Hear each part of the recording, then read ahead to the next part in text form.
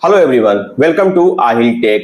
Friends, हाल ही में UPI light launch हुआ है, जिसमें आप एक बार में मैक्सिमम दो हज़ार रुपए एड मनी कर सकते हैं और इसमें आप per transaction two hundred rupees यानी दो सौ रुपए का आप लेन देन कर सकते हैं। ये एक लाइट वॉलेट की तरह आप इसे यूज़ कर सकते हैं। कोई भी पिन आपको एंटर करने की ज़रूरत नहीं है, इसमें जब आप पेमेंट करते हैं तो। तो फ्रेंड्स, पहले ही फ़ोन पे पेटीएम भीम यूपीआई ऐसे जो यूपीआई एप्स है, ये पहले ही अपने एप्लीकेशन में यूपीआई लाइट को लाइव कर चुके हैं हैं। मगर रिसेंटली यहाँ पे गूगल पे ने अपने मोबाइल एप्लीकेशन में यूपीआई लाइट को एक्टिव किया है, जो कि आज के इस वीडियो में मैं आपको यही बताने वाला हूँ कि कैसे आप गूगल पे में यूपीआई लाइट को एक्टिव कर सकते हैं। पूरा मैं फुल प्रोसेस आपको करके दिखाने वाला हूँ, कैसे उसमें आपको एक बैंक अकाउंट करना है, कैसे आप उसमें पैसे ऐड करेंगे, कैसे उसका बैलेंस चेक करेंगे, ये पूरा मैं आपको आज की इस वीडियो में बताऊँगा। तो मेरे साथ लास्ट तक बने रहिएगा। तो चलिए फ्रेंड्स वीडियो को स्टार्ट करते हैं।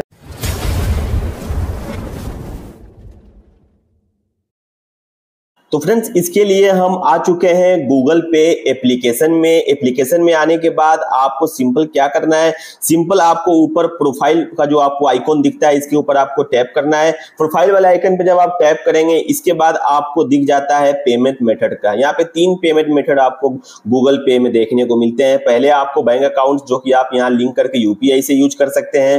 रुपए क्रेडिट कार्ड जो कि हाल ही में यहाँ पे लॉन्च हुआ था रुपए क्रेडिट कार्ड भी आप गूगल पे से लिंक करके पेमेंट पेमेंट कर सकते हैं। अब यहाँ पे तीसरा आपको पेमेंट मेथड मिल जाता है यूपीआई लाइट का। यूपीआई लाइट वाले ऑप्शन पे आप सिंपल यहाँ पे टैप करेंगे। टैप करने के बाद आपको देखने को मिल जाएगा UPI fast PIN free payments add money इसमें जैसे कि मैंने पहले बता दिया मैक्सिमम बैलेंस आप दो हज़ार रुपए यहाँ पे ऐड कर सकते हैं और आप दो सौ रुपए एक बार में यहाँ पे ट्रांजेक्शन कर सकते हैं। पहले भी पेटीएम और फ़ोन पे में ये ये सर्विस जो है कि लाइव हो चुका है तो काफ़ी लोग उसमें यूज़ कर रहे हैं। चलिए फ्रेंड्स सिंपल क्या करना है? इसमें यूपीआई लाइट रजिस्टर करने के लिए कंटिन्यू वाले ऑप्शन पे आपको टैप कर देना है। इसके बाद फ्रेंड्स, आपको नीचे बैंक अकाउंट देखने को मिल जाता है। ये वो बैंक अकाउंट है जिससे आप यूपीआई लाइट में पैसे ऐड कर सकते हैं। तो यहाँ पे ध्यान से इसे रखिएगा। यहाँ पे सिलेक्ट कर लीजिएगा। अगर आपका एक से ज़्यादा बैंक अकाउंट है तो आप उस बैंक अकाउंट को सिलेक्ट कर लीजिए, जिससे आप इसमें एड मनी कर सकते हैं। ठीक है? इसके बाद कंटिन्यू वाले ऑप्शन पे आपको क्लिक कर देना है। इसके बाद आपको जितना भी पैसा यहाँ पे ऐड करना है, वो अमाउंट आप यहाँ पे डाल दीजिए। अमाउंट डालने के बाद आप एड वाले ऑप्शन पे टैप कीजिए। इसके बाद अपना यूपीआई पिन डालिए पेमेंट सक्सेसफुल हो जाएगा।